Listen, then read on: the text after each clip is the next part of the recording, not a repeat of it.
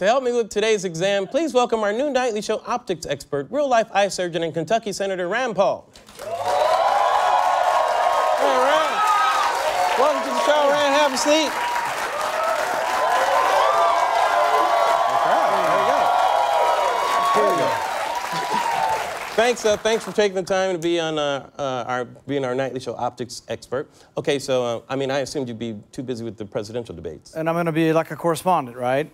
Uh, Larry, you're breaking up a little bit. No, Can no, no, you- you're sitting right here. Oh, I'm right. Oh, I'm right here. Yeah, being the, okay. Exactly. Uh, okay, so so now as an eye surgeon, uh, uh, what's your take on Donald Trump?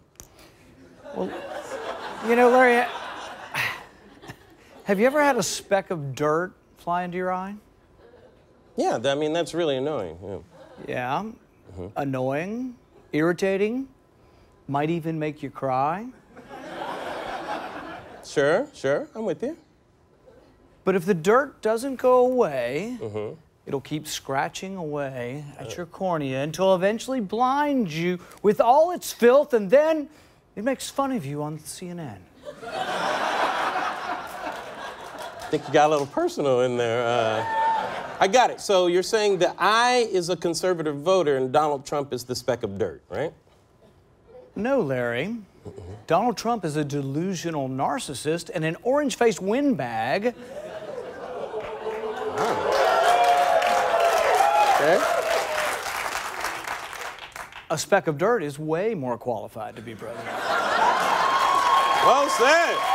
Our new correspondent, Rand Paul, everybody. Thank you. Thank you. You're breaking up a bit. No, you don't have to do Oh, that. I'm sorry. Well, thanks for having fun with us. Do you have time to answer a couple of questions, actually? That, that Are was they- very good. Did you have easy, fun doing easy that? questions? Very easy All right, question. all Uh, this is very easy. Why are you running in the Republican Party? I don't understand that.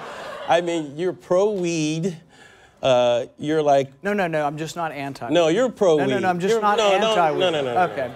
Whatever you You, say. you help people with their glaucoma. You're pro weed, right? Okay.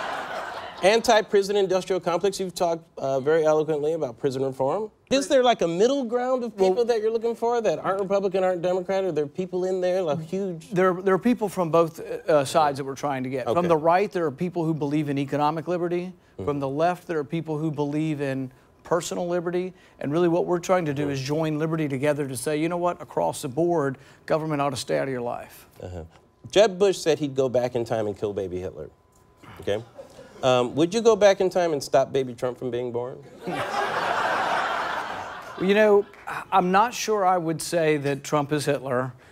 Goebbels, I'm not maybe. saying that. Goebbels, maybe, but I'm not saying Hitler. I'm not going. Really? there. So you're really you're going there then? No, no, no. I've said he wasn't. you ju- no, you no, no. I, I. I steadfastly said he was not Hitler, but maybe Goebbels. But I have seriously compared him to Gollum from The Lord of the Rings. Yes, I understand where Gollum was from.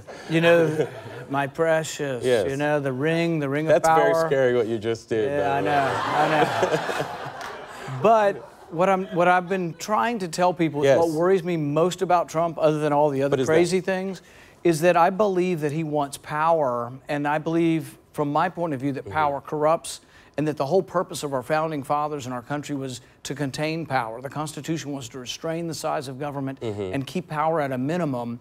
And I don't want power to gravitate to a Republican or a Democrat. Yeah, go ahead. You are certainly your own candidate. You don't you don't seem to follow any side. You follow your own path, and I, I think that's really something. All right, are you ready to play uh, Keep It 100? To answer Keep It 100 on question? You hear that? Okay. Was I really good at this Yes. game? No, you have to do this. You have to keep your answer 100% real. Ready? Okay. Other than Donald Trump, you can't mention Trump, okay? Who is the biggest dick of all the GOP candidates right now? And I know you have an answer. Larry, I think you're breaking up here. Um, can you uh, help us? Who Uh, is it? Come on. Who is it?